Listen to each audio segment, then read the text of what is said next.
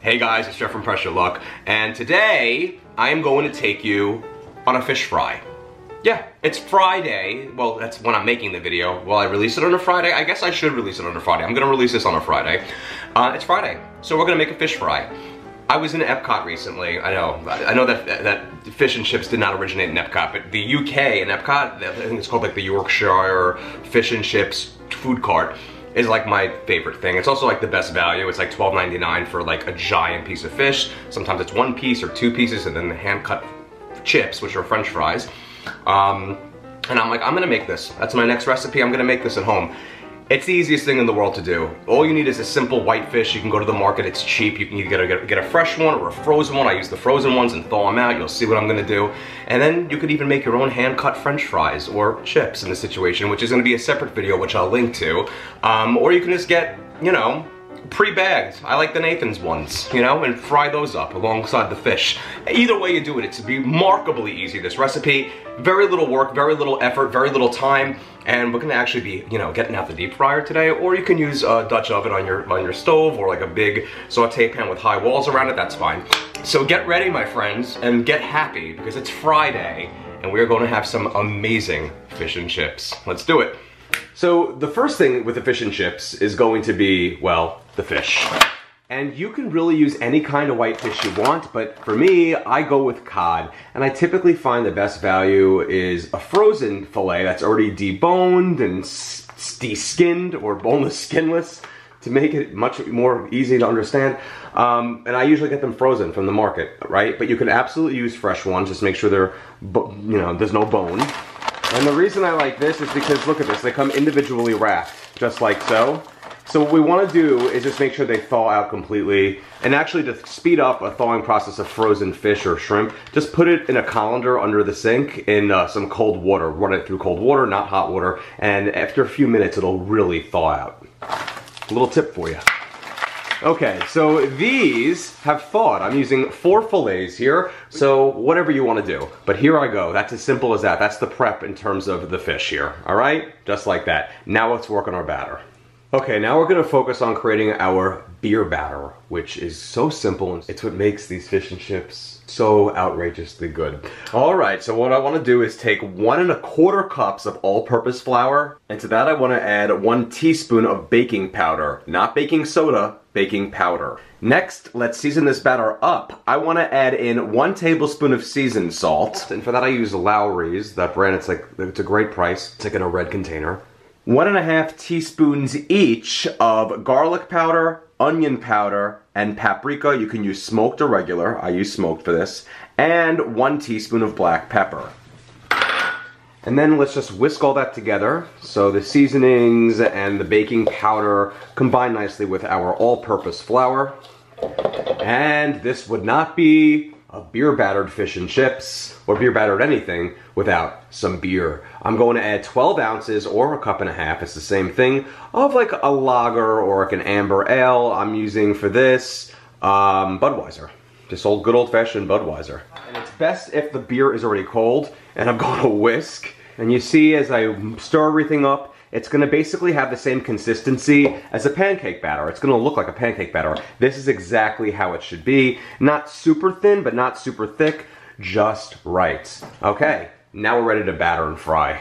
Okay, now I would prepare this when your cod fillets or haddock or hake, whatever you're using, any type of whitefish, mahi-mahi will even work. Make sure they're nice and thawed, and then you want to whisk this together right before you're about to fry. Okay, so for me to cook my fish and chips, what I'm going to be doing is using a deep fryer for this, because I feel like it just makes the most sense, because I have a deep fryer, and they're quite affordable, and they're perfect for french fries, which would be the chips in this situation.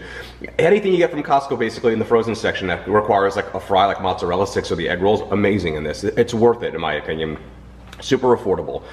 Um, you just fill it up about halfway with either a vegetable canola or you can even use peanut oil, that's fine. You don't want to use extra virgin olive oil. Or you can do this on your stove in a Dutch oven or like a saute pan, something with a pan with high walls in it and fill it about halfway with the same kind of oil. Bring it to about 375 degrees. Okay, so we're preheated here and I have my batter. So what I wanna do is I wanna take each piece of fish and just put it in my batter, fully coat the whole thing, just like so. See this? and then I just wanna lay it inside, directly in the oil. Do it with each one. Get each one in there. Of course, be very careful when you're dropping this into the oil.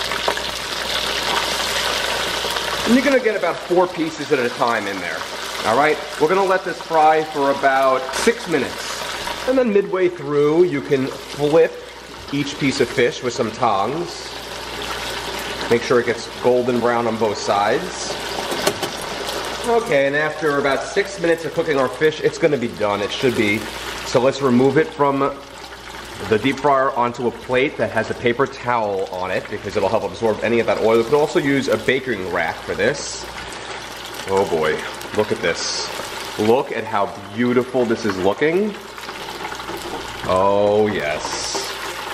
That is some serious fish and chip situation going on right there, my friends. Look at how beautiful that is. All right, let's try this out. And there it is, some gorgeous, look at how beautiful golden beer battered fish or fish and chips. If you want to know what I'm, you know, that, come on, let's get real. That's how you really do it, right? Fish and chips. And I'm gonna show you how you can make these chips, or just french fries, in a separate video, which I'll link, and I'm already gonna eat one. And then of course, if you want some lemon to go with it, some people do, and some tartar sauce, by all means, feel free, and we have a true fish and chip situation going on here. Some people also like malt vinegar, it's up to you. But right now, it's focusing on this fish, so we're gonna try some of this out right now. Okay, my friends, and here it is, fish and chips. Well, I'm excited. So I'm gonna try a bite out of this and see how it is. All right, here we go.